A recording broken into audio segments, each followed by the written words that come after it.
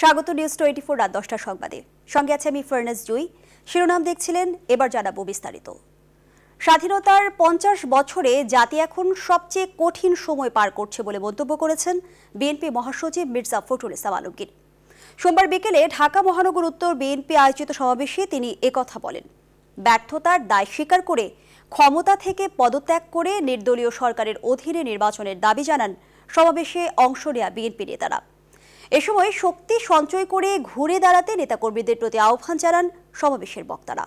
মারুফা রহমানের প্রতিবেদন। বুধবার রাজধানীর খিলগাঁও তালতলা মোড়ে নির্ধারিত সময়ের অনেক আগ থেকেই সমাবেশে যোগ দিতে খণ্ড খণ্ড মিছিল নিয়ে জড়ো হন বিএনপির নেতাকর্মীরা।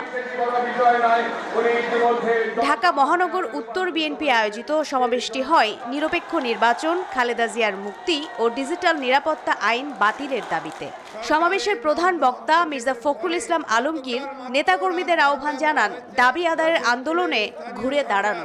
এত বড় কঠিন সময় স্বাধীনতার এই পঞ্চাশ বছরে কখনো আর এই জাতি অতিক্রম করেনি।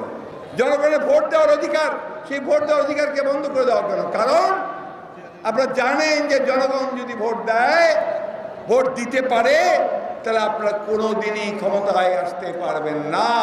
সমাবেশে দলের সিনিয়র নেতারা জনগণের ভোটাধিকার হরণের অভিযোগ তোলেন এবং ঘোষণা দেন বর্তমান সরকারের অধীনে আর কোনো নির্বাচনে যাবে না বিএনপি। মাফিয়া চক্রের অধীনে আজকে বাংলাদেশ। এই মাফিয়া চক্র থেকে বাংলাদেশ উদ্ধার করতে হবে। অনেক অংশগ্রহণ করছি। এখন ভোটে আর অংশগ্রহণ করছি না। তবে ভোটে অংশগ্রহণ করব। যেদিন বাংলাদেশের মানুষের ভোটাধিকার নিশ্চিত হবে। নির্বাহী কমিটির সদস্য তাবি তাওয়ালের সভাপতিত্বে সমাবেশে অংশ নেন বিএনপির বিগত মেয়র নির্বাচনে অংশ নেওয়া সারা দেশের ছয় মেয়র প্রার্থী। এই রক্ষী বাহিনীকে মোকাবেলা করতে গিয়ে প্রথম যদি বুলেটটা আসে আমি আমার বুক পেতে দিব। এবিএম মেশিন চোর হ্যাঁ তো নির্বাচন কমিশন চোর হ্যাঁ নির্বাচন কমিশন চোর হ্যাঁ তো সরকার চোর হ্যাঁ উনসত্তরের মতো আবার গণ আন্দোলনে আমাদেরকে ঝাঁপিয়ে পড়তে হবে। ওদের দিন ঘনিয়ে এসেছে আর আমাদের দিন শুরু হয়েছে। বিএনপির বিভাগীয় সমাবেশ থেকে নেতাকর্মীরা ঘোষণা দেন, বর্তমান সরকারের অধীনে আর কোনো নির্বাচনে না যাওয়ার নির্দলীয় সরকারের অধীনে ঐক্যবদ্ধ আন্দোলন গড়ে তোলার। পাশাপাশি স্বাধীনতার সুবর্ণ জয়ন্তীর বছরে বিএনপির নেতাকর্মীদের আবারও ঘুরে দাঁড়ানোর কথা বলেন। Marufa Rahman, news twenty four, Dhaka. গ্রেপ্তারের পর নির্যাতনের অভিযোগে মামলার আবেদন করেছেন কার্টুনিস্ট আহমেদ কবির কিশোর। আবেদনে অজ্ঞাতনামাদের বিরুদ্ধে আইনগত ব্যবস্থা গ্রহণের আর্জি জানানো হয়েছে। তবে তার মামলা আমলে নেওয়ার বিষয়ে এখনও শুনানি হয়নি। এ বিষয়ে আদেশ পরে দেয়া হবে বলে জানান আদালত। ডিজিটাল নিরাপত্তা আইনের মামলায় জামিনে মুক্তি পাওয়ার পর বুধবারই প্রথমবারের মতো আদালতে হাজিরা দিলেন কার্টুনিস্ট কিশোর। ঢাকার অতিরিক্ত মুখ্য মহানগর হাকিম আবু বকর সিদ্দিকের আদালতে তিনি হাজিরা দেন। এরপর দুপুরে বিচারক কে ইমরুল কায়েসের আদালতে ডিজিটাল নিরাপত্তা আইনের মামলায় গ্রেপ্তার হওয়ার পর নির্যাতনের বর্ণনা তুলে ধরেন কিশোর।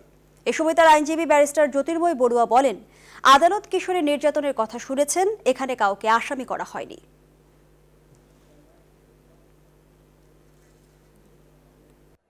সুস্পষ্টভাবে আসলে জানতেন না বা জিজ্ঞেস করার পরেও তাকে জানানো হয় নাই যে কারা তাকে নির্যাতন করছেন। বা কাদের হেফাজতে তিনি ছিলেন সেটি যেহেতু জানানো হয়নি, আমরা নাম উল্লেখ করেন তিনি আসলে এই বিজ্ঞ আদালতের সামনে কোনো নাম উল্লেখ করে কোনো বক্তব্য দেননি, কিন্তু তিনি নির্যাতনের সবিস্তারে বর্ণনা দিন ডিজিটাল নিরাপত্তা আইন সংস্কার নয়, বাতিলের দাবি জানিয়েছে বাংলাদেশ ছাত্র মৈত্রী বুধবার ঢাকা বিশ্ববিদ্যালয়ের রাজু ভাস্কর্যের সামনে বিক্ষোভ সমাবেশ থেকে বাম সংগঠনটি এই দাবি জানায়। একই সাথে আইনটি বাতিল চেয়ে আন্দোলনরত আটক শিক্ষার্থীদের অবিলম্বে মুক্তি দেওয়ারও দাবি জানান বক্তারা। তারা বলেন, শিক্ষার্থীদের দেয়ালে পিঠ থেকে গেলে তারা আর চুপ থাকবে না।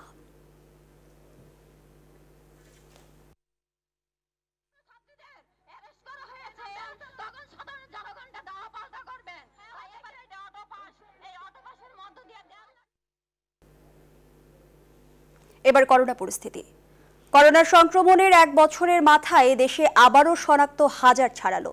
গেল চব্বিশ ঘন্টায় করোনা সংক্রমিত হয়েছেন এক হাজার আঠারো জন এবং মারা গেলেন আরও সাতজন এদিকে যুক্তরাজ্যে ছড়িয়ে পড়া করোনার নতুন ধরন বাংলাদেশে শনাক্ত হলেও তার সংক্রমণ বৃদ্ধির কারণ নয়, বলছে জাতীয় রোগতত্ত্ব রোগ নিয়ন্ত্রণ গবেষণা ইনস্টিটিউট। স্বাস্থ্য অধিদপ্তর বলছে, বেপরোয়া চলাচল সংক্রমণ বৃদ্ধির প্রধান কারণ। অন্যদিকে গত চব্বিশ ঘন্টায় দেশে টিকা নিয়েছেন এক লাখ চার হাজার নশো নব্বই জন। রিশাদ হাসান জানাচ্ছেন বিস্তারিত। গেল চব্বিশ ঘন্টায় দেশে করোনা সংক্রমিত হয়েছেন এক হাজার আঠারো জন। সবশেষ জানুয়ারি মাসের দশ তারিখ দেশে করোনা সংক্রমিত হন এক হাজার একাত্তর জন। শনাক্তের হার বিবেচনায় যা পাঁচ শতাংশের উপর, মাঝের দুই মাসে এই সংক্রমণ ছিল আড়াই শতাংশের নিচে। জাতীয় রোগতত্ত্ব, রোগ নিয়ন্ত্রণ ও গবেষণা ইনস্টিটিউটের তথ্যমতে জানুয়ারি মাসে যুক্তরাজ্য থেকে ফেরা কয়েকজনের দেহে শনাক্ত হয় করোনা ভাইরাসের নতুন স্ট্রেন। এ পর্যন্ত ছয় জনের দেহে যা পাওয়া গেছে। তবে করোনার এই ভ্যারিয়েন্ট বর্তমান সংক্রমণের জন্য দায়ী নয় বলছেন প্রতিষ্ঠানটির প্রধান বৈজ্ঞানিক কর্মকর্তা। এখন যে আমাদের সংক্রমণ সংখ্যা কিছুটা বাড়ছে সেখানে কিন্তু ইউকে ভ্যারিয়েন্টের কোনো রকম ভূমিকা আমরা দেখছি নতুন এই স্ট্রেনের কারণে সংক্রমণ বাড়ছে কিনা সে বিষয়ে কোনো গবেষণা না থাকলেও ভাইরাসটির আরও জেনম সিকোয়েন্স করছে দেশের বেশ কয়েকটি প্রতিষ্ঠান। এই ব্যাপারে আমাদের আইডিসি আর সজাগ আছে। তারা জেনম সিকোয়েন্স করছে এবং আইসিডিটিএরবিও জেনোম সিকোয়েন্স করছে। সায়েন্স ল্যাবরেটরি তারাও জেনোম সিকোয়েন্স করছে। আমরা আমাদের ন্যাশনাল ল্যাবরেটরিটাকে সক্ষম করার জন্য চেষ্টা করছি। ওটা যদি জেনোম সিকোয়েন্স করা যায় তাহলে হয়তো এটা বাড়িয়ে আনতে পারব। তবে বর্তমান সংক্রমণ বৃদ্ধির পেছনে নির্লিপ্ত চলাচল ও স্বাস্থ্যবিধির অবজ্ঞাকেই দায়ী করছেন স্বাস্থ্য অধিদপ্তর। মানুষের ভিতরে এক ধরনের রিল্যাক্সেশন এসে পড়েছে এবং আমরা স্বাস্থ্যবিধি মোটেই মানছি না। সেটা হয়তো অন্যতম কারণে। এখন টিকা নেন যাই করুন সাধারণ স্বাস্থ্যবিধি আপনাকে মানতে হবে। আপনাকে মাস্ক পরতেই হবে। আপনার মাস্কটাও কিন্তু নাকের নিচে নাকের উপরে উঠান। বাংলাদেশে যে টিকা প্রয়োগ করা হচ্ছে তা করোনার নতুন ধরন প্রতিরোধে সক্ষম। তবে সংক্রমণ এড়াতে স্বাস্থ্যবিধি মেনে চলতে বারবার পরামর্শ দিচ্ছেন তারা। Rishad Hasan news twenty Dhaka. Corona টিকা নিয়েছেন রাষ্ট্রপতি মোহাম্মদ আব্দুল হামিদ। বুধবার বিকেলে বঙ্গভবনে করোনা টিকা নিলেন তিনি। একই সাথে রাষ্ট্রপতির স্ত্রী রাশিদা খানমও করোনার টিকা নিয়েছেন। এ সময় রাষ্ট্রপতি দেশবাসীকে করোনার টিকা নেয়া ও একই সাথে স্বাস্থ্যবিধি মেনে চলার আহ্বান জানান। চব্বিশ ঘন্টায় বিশ্বজুড়ে আবারও বেড়েছে করোনা ভাইরাসের সংক্রমণ। একদিনে তিন লাখ আটাত্তর হাজারের বেশি আক্রান্তের ঘটনা ঘটেছে। প্রাণহানি হয়েছে আট হাজার পাঁচ শতাধিক। এ নিয়ে বিশ্বে মোট সংক্রমণ ছাড়ালো এগারো কোটি তিরাশি লাখ। আর ছাব্বিশ লাখ চব্বিশ হাজার ছাড়িয়ে গেল মোট মৃত্যুর সংখ্যা। নতুন করোনা ভ্যারিয়েন্ট ছড়িয়ে পড়ার পর সংক্রমণে লাগাম টানতে পারছে না ব্রাজিল, যুক্তরাষ্ট্র সহ বিভিন্ন দেশ। এদিকে জনসন অ্যান্ড জনসনের মতো এক ডোজ টিকাকে গুরুত্ব দিচ্ছেন গবেষকরা।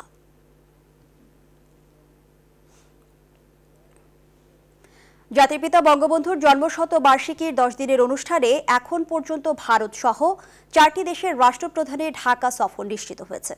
বুধবার সচিবালয়ে সংক্রান্ত এক বৈঠক শেষে স্বরাষ্ট্রমন্ত্রী জানান, বিদেশি অতিথিদের নিরাপত্তায় সর্বোচ্চ সতর্কতা অবলম্বন করা হবে। এক প্রশ্নের জবাবে মন্ত্রী বলেন, নরেন্দ্র মোদীর বাংলাদেশ সফরকে কেন্দ্র করে কোনো ধরনের অনাকাঙ্ক্ষিত পরিস্থিতি সৃষ্টি হবে না বলেই তাদের প্রত্যাশা। আরও জানাচ্ছেন সজল দাস। বুধবার স্বরাষ্ট্র মন্ত্রণালয়ের সম্মেলন কক্ষে বৈঠকে বসে জাতির পিতার জন্মশতবার্ষিকী উদযাপন উপলক্ষে গঠিত নিরাপত্তা বিষয়ক উপকমিটি। বৈঠক পরবর্তী সংবাদ সম্মেলনে অনুষ্ঠানের আয়োজন বিশিষ্ট ব্যক্তিবর্গ ও দেশি বিদেশি অতিথিদের নিরাপত্তার বিষয়টি গণমাধ্যমকে জানান স্বরাষ্ট্রমন্ত্রী। দশ দিন ব্যাপী ধারাবাহিকভাবে অনুষ্ঠান আয়োজন হবে। অনুষ্ঠানে এখন পর্যন্ত চারজন রাষ্ট্রপ্রধান ও সরকার প্রধান অংশগ্রহণ করবেন বলে আমরা জেনেছি। অনুষ্ঠানস্থলে নিরাপত্তার বিষয়ে স্বরাষ্ট্রমন্ত্রীর নেতৃত্বাধীন নিরাপত্তা বিষয়ক উপকমিটি নিরাপত্তার প্রয়োজনীয় ব্যবস্থা নেবেন। এখন পর্যন্ত ভারত শ্রীলঙ্কা নেপাল ও মালদ্বীপের রাষ্ট্রপ্রধানদের আসার কথা নিশ্চিত হয়েছে বলে জানান পররাষ্ট্র প্রতিমন্ত্রী। এ পর্যন্ত চারজন মালদ্বীপের রাষ্ট্রপতি শ্রীলঙ্কার প্রধানমন্ত্রী নেপালের রাষ্ট্রপতি এবং ভারতের প্রধানমন্ত্রী। এই চারজনের সফর নিশ্চিত হয়েছে বিস্তারিত আমরা পরে জানিয়ে দেব। জন্মশতবার্ষিকী অনুষ্ঠানের মুখ্য সমন্বয়ক বলেন, স্বাস্থ্যবিধির বিষয়টি বিবেচনায় বাধ্যতামূলক করা হচ্ছে অংশগ্রহণকারীদের কোভিড নাইন্টিন নেগেটিভ সনদ। গতবার আপনারা জানেন যে আমরা বিশাল একটা আয়োজন করেছিলাম, কিন্তু সেভাবে অত দাওয়াত তো আমরা এইভাবে কোভিড পরিস্থিতির কারণে আমাদের পক্ষে দেওয়া সম্ভব হচ্ছে না। তো কিন্তু আমরা যাদেরকে দাওয়াতটা দেব, তারা তাদেরকে প্রত্যেককে আমরা বলে দিচ্ছি যে কোভিড টেস্ট করতে হবে এবং এটা বাধ্যতামূলক এবং সেটা আটচল্লিশ ঘণ্টা এটা ভ্যালিডিটি থাকবে। সতেরো থেকে ২৬ মার্চ দশ দিনের চার দিন সশরীরে উপস্থিত থাকবেন অতিথিরা। বাকি ছয় দিন অনেক দেশের সরকার ও রাষ্ট্রপ্রধান যুক্ত হবেন ভার্চুয়ালি চলাচল করবে কোন রাস্তায় কতক্ষণ সজল দাস নিউজ টোয়েন্টি ঢাকা। জানিয়ে দাও। পদ্মা সেতু প্রকল্পের মেয়াদ দুবছর বাড়ানোর আবেদন করেছে সেতু বিভাগ। তবে বাড়ছে না ব্যয়। পরিকল্পনা মন্ত্রণালয় বলছে পদ্মা সেতু প্রকল্পের মেয়াদ বাড়বে তবে কত সময় বাড়বে পরীক্ষা নিরীক্ষা শেষে শিগগিরই জানানো হবে। আর প্রকল্প পরিচালক জানান, মেয়াদ বাড়লেও দুহাজার বাইশ সালের জুনেই খুলে দেয়া হবে পদ্মা সেতু। দাবন রহমানের রিপোর্টে বিস্তারিত। সবগুলো স্প্যান বসানোর মধ্য দিয়ে এরই মধ্যে পুরো দৃশ্যমান ছয় দশমিক এক পাঁচ কিলোমিটার দৈর্ঘ্যের পদ্মা সেতু। সরকারের ঘোষণা অনুযায়ী আগামী বছর দু হাজার বাইশ সালের জুনে উদ্বোধন হওয়ার কথা বহুকাঙ্ক্ষিত এই সেতু। কাজ শেষ হয়েছে চুরাশি শতাংশ। এমন বাস্তবতায় প্রকল্পের মেয়াদ আরও দুই বছর বাড়ানোর আবেদন করেছে সেতু বিভাগ। আবেদনে করোনা ও বন্যাকে কারণ হিসেবে দেখানো হয়েছে।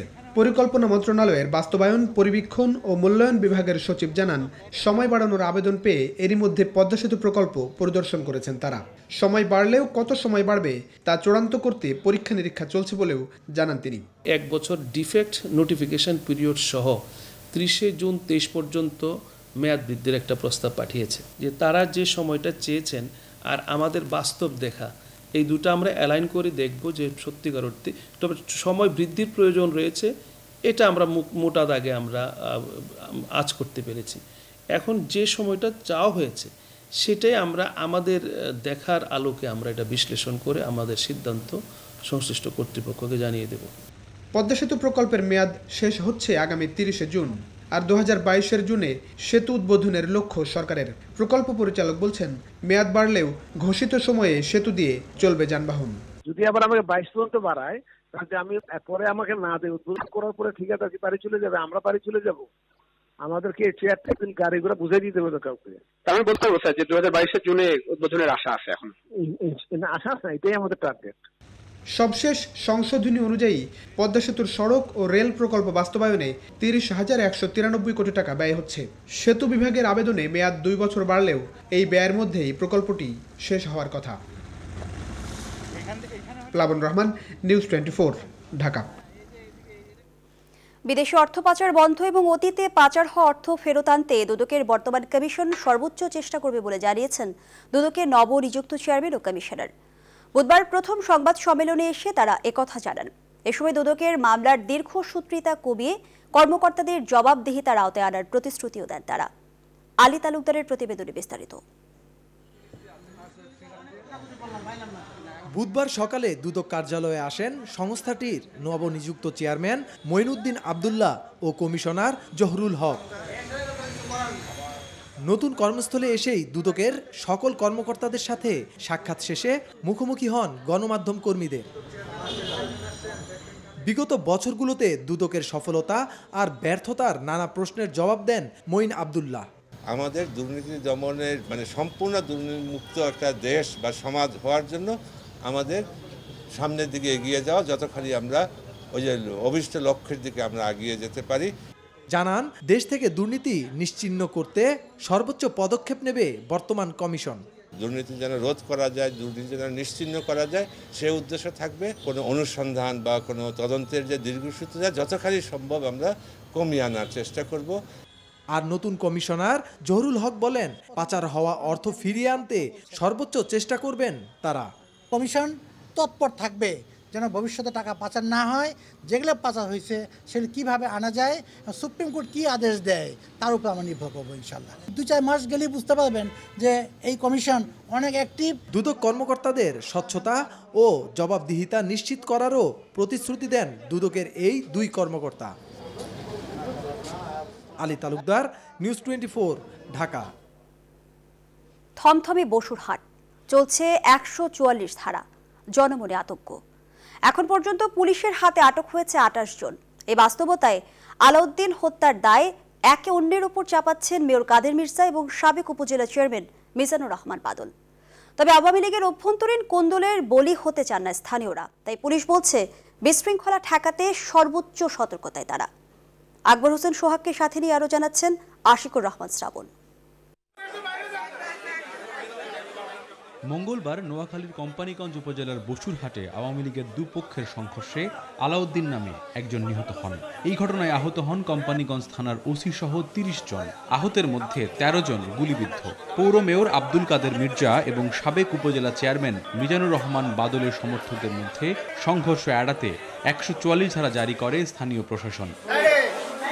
আলাউদ্দিন হত্যার দায় সহ অস্ত্রের রাজনীতির জন্য একে অন্যকে দোষারোপ করছেন মির্জা কাদের ও বাদল। সেখানে রাত নয়টার দিকে আমাদের উপর আবার মু- আক- আকামি যেন গুন্ডা বাহিনী সশস্ত্র অবস্থায় হামলা করে যেখানে আমার কর্মী আমার পাশের বাড়ির আলাউদ্দিন নিহত হয় এবং অনেক নেতাকর্মী আহত হয়। এরকম এই যে বৃষ্টির মতো এখানে গুলি করছে আমার মনে হয় ফার্স্ট স্বচ্ছ গুলি এখানে করছে। আমি এখানে এ কোনায় এখানে শুয়ে আছি। পুরো বসুরহাটে থমথমে পরিস্থিতি। দোকানপাট বন্ধ আইনশৃঙ্খলা বাহিনীর ঘন ঘন টহল। এরই মধ্যে বেশ কয়েকজনকে আটকও করেছে পুলিশ। যে পরিস্থিতি, এই পরিস্থিতিতে একশো চুয়াল্লিশ ধারা বলবৎ থাকবে এবং পুলিশ নির্বাহী ম্যাজিস্ট্রেট একত্রে মাঠে থাকবে যাতে কোনো বিশৃঙ্খলা, কোনো সৃষ্টি না হয়। পরবর্তীতে আইন শৃঙ্খলা পরিস্থিতি কোনোভাবেই অবনতি না হয়, সেটার জন্য আমরা একদম তৎপর আছি। যারা এই ধরনের এই অপরাধ করেছে, একজন মারা গেছে, এই সমস্ত সুষ্ঠু তদন্ত সাপেক্ষে ব্যবস্থা নেওয়া হবে। এটা কার্যক্রম অব্যাহত আছে। তবে পৌরসভা নির্বাচন থেকে শুরু করে এখন পর্যন্ত অস্থিরতা কোম্পানিগঞ্জের রাজনীতিতে। স্থানীয়রা এর অবসান চান। ঠিক ব্যবসা বাণিজ্য করতে করতে পারতেছি না ভয়ে আতঙ্কে আমরা আছি। তাদের নিজস্ব দলীয় কন্দলের কারণে আজকে আমরা ক্ষতিগ্রস্ত। স্থানীয়রা বলছেন সমস্যার সমাধানে কেন্দ্রের দায়িত্বশীলদের এখনই সক্রিয় হওয়া উচিত না হলে হয়তো আরও প্রাণ ঝরবে। ডেস্ক রিপোর্ট নিউজ টোয়েন্টি নোয়াখালীর কোম্পানিগঞ্জের ঘটনায় যারা জড়িত, তাদের বিরুদ্ধে কঠোর ব্যবস্থা গ্রহণ করা হবে। এ ঘটনায় কাউকে ছাড় দেওয়ার প্রশ্নই ওঠে না বলে জানিয়েছেন আওয়ামী লীগের সাধারণ সম্পাদক ওবায়দুল কাদের। বুধবার এক ব্রিফিংয়ে এসব জানান তিনি। গত মঙ্গলবার নোয়াখালীর কোম্পানিগঞ্জে দুই গ্রুপের প্রাণঘাতী সংঘর্ষে একজন দলীয় কর্মী নিহতের ঘটনাটি অত্যন্ত দুঃখজনক, দুর্ভাগ্যজনক। এ ঘটনা যারা জড়িত, তাদের বিরুদ্ধে কঠোর ব্যবস্থা গ্রহণ করা হবে। বিশৃঙ্খলা বা সংঘর্ষের সাথে যে বা যারাই জড়িত থাকুক, তাদের পরিচয় না দেখে প্রত্যেককে আইনের আওতায় আনতে হবে। দুর্নীতির ভাগ নিয়েই আওয়ামী লীগের ভেতরে প্রতিনিয়ত দ্বন্দ্বে মানুষ খুন হচ্ছে। এমন অভিযোগ করেছেন জাতীয় পার্টির চেয়ারম্যান গোলাম মোহাম্মদ কাদের।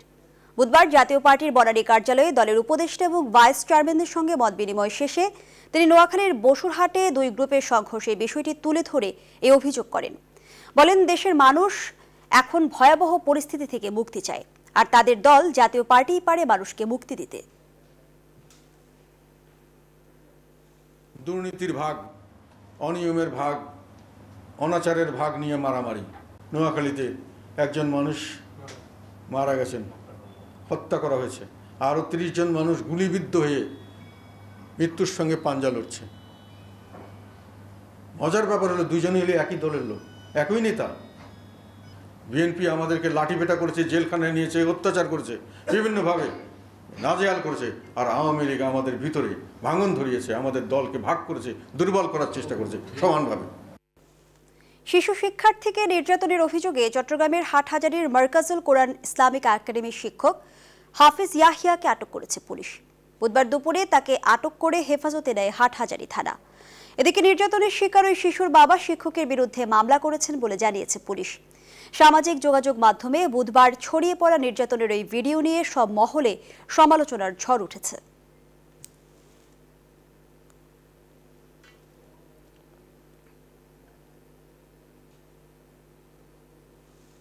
সুযোগ পেলে বাংলাদেশের মেধাবীরা সবকিছু করতে পারে বলে মনে করেন প্রধানমন্ত্রীর বেসরকারি খাত বিষয়ক উপদেষ্টা সালমান এফ রহমান। বুধবার রাজধানীর আগারগাঁয়ে ক্রিয়েটিভ মিডিয়া ইন্ডাস্ট্রি স্কিলস কাউন্সিলের উদ্বোধনী অনুষ্ঠানে তিনি একথা বলেন। এ সময় তিনি বলেন, তরুণদের মেধা রয়েছে, তবে সুযোগ কম। তাদেরকে ভালো প্ল্যাটফর্মে সুযোগ দিতে চেষ্টা করছে সরকার। তবে এজন্য দক্ষতা বাড়ানোর কোনো বিকল্প নেই বলেও মত দেন তিনি।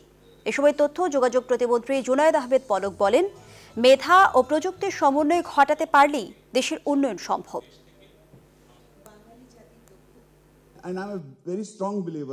যেটা যদি অনুকূল পরিবেশটা তৈরি করে দেওয়া যায় বাংলাদেশিরা সবকিছু পারে। এবং সেটা আমরা প্রমাণ করেছি। উই হ্যাভ ডান দিস প্রথম ধাপে ইউনিয়ন পরিষদ নির্বাচনে চেয়ারম্যান পদে আওয়ামী লীগের মনোনয়ন ফর্ম সংগ্রহ ও জমা দেওয়ার শেষ দিন ছিল বুধবার। এদিন সকাল থেকেই ধানমন্ডিতে আওয়ামী লীগ সভাপতির রাজনৈতিক কার্যালয়ে মনোনয়ন ফর্ম সংগ্রহ ও জমা দিতে ভিড় করেন সম্ভাব্য প্রার্থীরা। করোনা সংক্রমণের ঝুঁকি এড়াতে প্রার্থীর সঙ্গে সমর্থকদের না আসার নির্দেশনা থাকলেও বেশিরভাগ প্রার্থী এসেছেন বিপুল সংখ্যক সমর্থক নিয়ে। শেষ দিনে বিকেল পর্যন্ত পাঁচশো জন ফর্ম সংগ্রহ করেছেন চেয়ারম্যান প্রার্থীর। তবে প্রার্থীদের চাপ বেশি থাকায় মনোনয়ন ফর্ম জমা দেওয়ার সময় বাড়ানো হতে পারে বলে জানানো হয়েছে দলীয় কার্যালয় থেকে।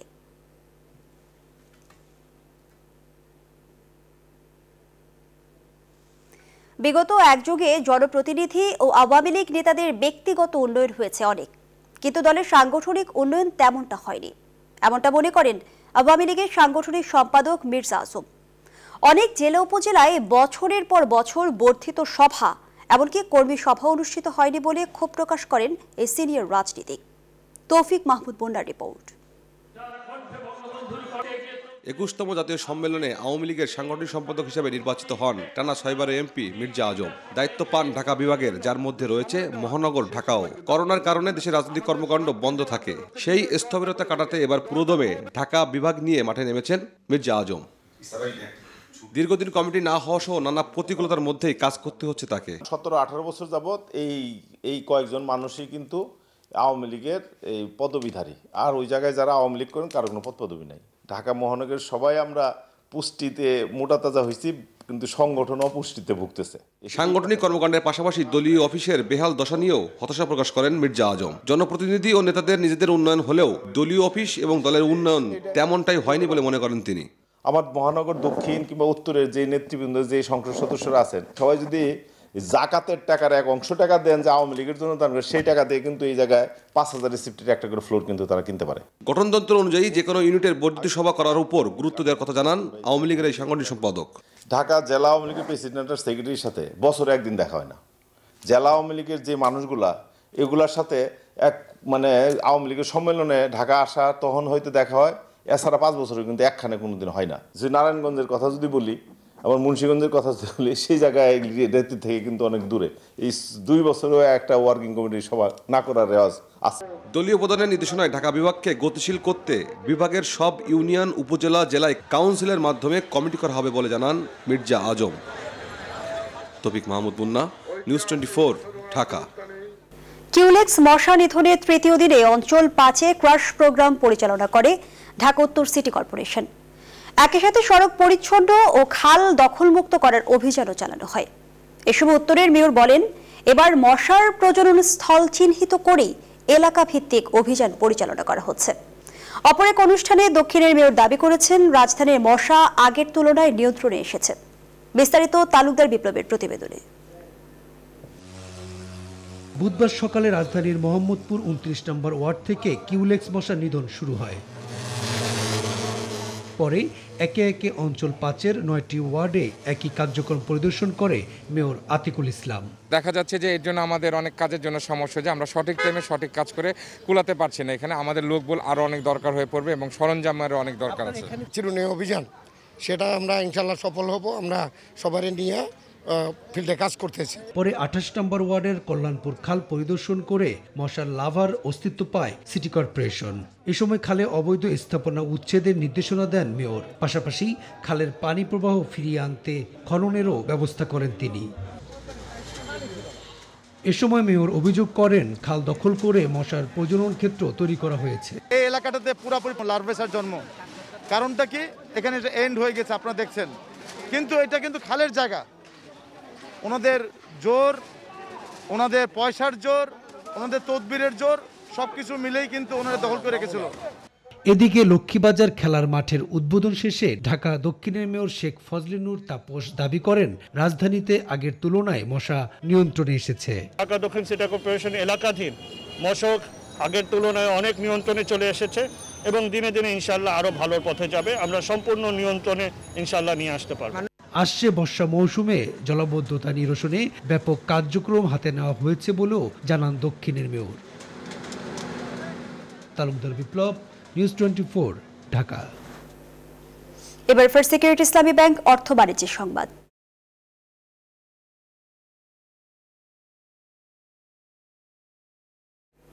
আগামী দু বছরের জন্য ই কমার্স মার্কেট প্লেস ই ভ্যালির ব্র্যান্ড আইকন হলেন জনপ্রিয় সংগীত শিল্পী ও অভিনেতা তাহসান খান। বুধবার রাজধানীর একটি হোটেলে আয়োজিত সংবাদ সম্মেলনে এই ঘোষণা দেওয়া হয়।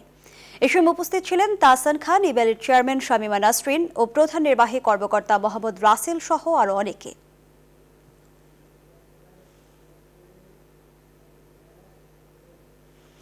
আন্তর্জাতিক কনভেনশন সিটি বসুন্ধরা অনুষ্ঠিত হয়ে গেল অপো এফ নাইনটিন প্রো এর জমকালো উদ্বোধন। বুধবার একটি মিউজিক এলইডি শো দিয়ে অনুষ্ঠানটি শুরু হয়। এই অনুষ্ঠানে নতুন মডেলের ফোনটির বিভিন্ন ফিচার তুলে ধরা হয়। কর্মকর্তারা জানান, নতুন মডেলটি তার স্টাইলিশ আউটলুকের জন্য জনপ্রিয়তা পাবে। এছাড়া এতে বেশ কিছু নতুন ফিচার যুক্ত করা হয়েছে। অনুষ্ঠানে এফ নাইনটিন প্রো মডেলের iconic brand ambassador Siam Ahmed ও সাফা কবির উপস্থিত ছিলেন। এবার আন্তর্জাতিক প্রসঙ্গ। পশ্চিমবঙ্গের বিধানসভা নির্বাচনে নিজের নির্বাচনী আসন নন্দীগ্রামে প্রচারে গিয়ে আহত হয়েছেন মুখ্যমন্ত্রী মমতা বন্দ্যোপাধ্যায়।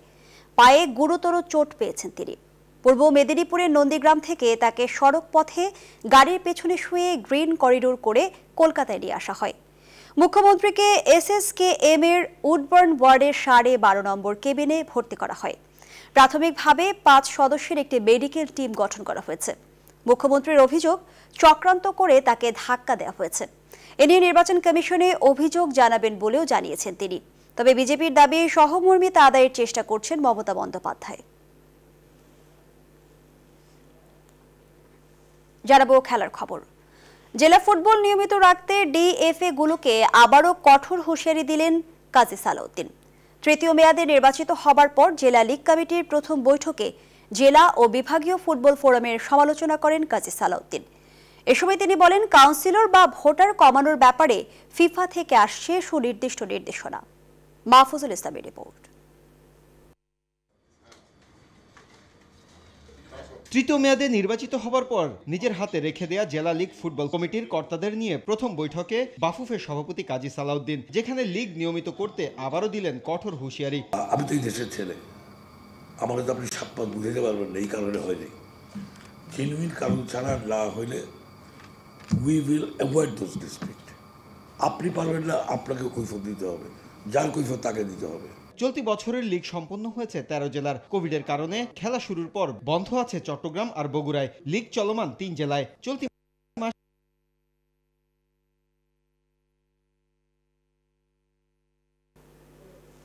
চোদ্দ দিনের কঠোর কোয়ারেন্টাইন পর্ব শেষে এখন কুইন্স টাউনে বাংলাদেশ ক্রিকেট দল। তিন ওয়ানডে ও তিন ম্যাচের টি টোয়েন্টি সিরিজ খেলতে। দুই সপ্তাহ আগে নিউজিল্যান্ডে পা রাখে টাইগাররা। মাঠের লড়াইয়ে নামার আগে কুইন্স টাউনে এক সপ্তাহের ক্যাম্প করবে বাংলাদেশ ক্রিকেট দল। নিউজিল্যান্ডের কঠোর কোয়ারেন্টাইনের নিয়ম বেশ ভালোভাবেই মেনে চলেছে বাংলাদেশ। কঠিন হলেও সে মেনে চলার ফল পেয়েছে ক্রিকেটাররা। কোনো ধরনের অনাকাঙ্ক্ষিত ঘটনা ছাড়াই কোয়ারেন্টাইন শেষ করেছে টাইগাররা। দর্শক, এই ছিল এখনকার মতো। এতক্ষণ সাথে থাকাই ধন্যবাদ সবাইকে।